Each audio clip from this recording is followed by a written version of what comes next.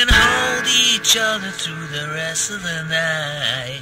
In the morning it will be another sunny day. That's what the forecast people say.